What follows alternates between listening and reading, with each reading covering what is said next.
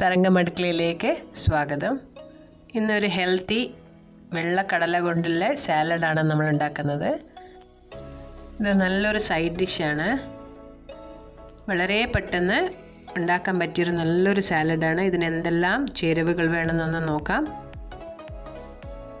ഇതൊരു അര കഷ്ണം ലൈമാണ് പിന്നെ ഒരു അര ഉള്ളി ചെറുതായി കട്ട് ചെയ്ത് വെച്ചതാണിത്.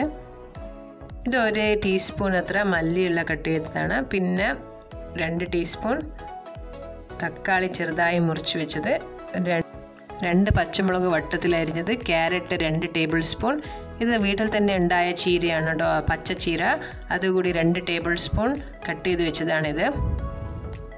പിന്നെ ഇത് ഉറുമാമ്പഴം പോംഗ്രനേറ്റ് രണ്ട് ടേബിൾ സ്പൂൺ അതുകൂടി എടുത്ത് വെച്ചിട്ടുണ്ട്. ഇതാണ് നമ്മളുടെ ഈസി ആൻഡ് ഹെൽത്തി സാലഡിന് വേണ്ട ഇൻഗ്രീഡിയന്റ്.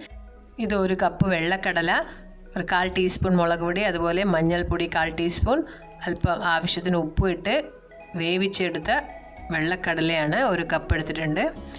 ഇനിയിപ്പോൾ ഈ ഒരു കപ്പ് വെള്ളക്കടല വേവിച്ചത് ഒരു ബൗളിൽ ഇട്ട് കൊടുക്കണം. നേരത്തെ കുതിർത്ത് ഒരു മൂന്ന് നാല് വിസിൽ വരെ വേവിച്ച കടലയാണ്. ഇനി അതിലേക്ക് നേരത്തെ മുറിച്ച് വെച്ച ഉള്ളി ഒരു അര ഉള്ളി ചെറുതായി കട്ട് ചെയ്തതാണ്. അതും കൂടി മിക്സ് ചെയ്ത് കൊടുത്തു. ഇനി ഇത് വീട്ടിൽ തന്നെ ഉണ്ടായ ചീരയാണ്.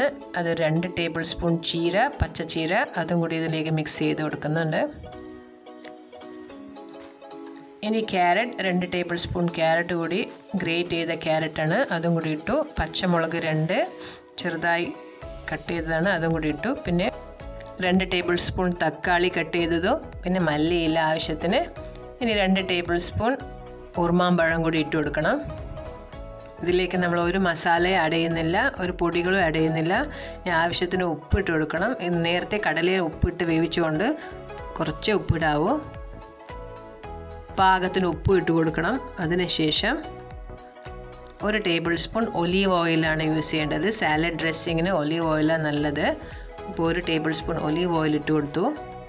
ഇനി ഇതിലേക്ക് നേരത്തെ എടുത്ത അര കഷ്ണം ലൈം ജ്യൂസും കൂടി പിഴിഞ്ഞു കൊടുക്കാം.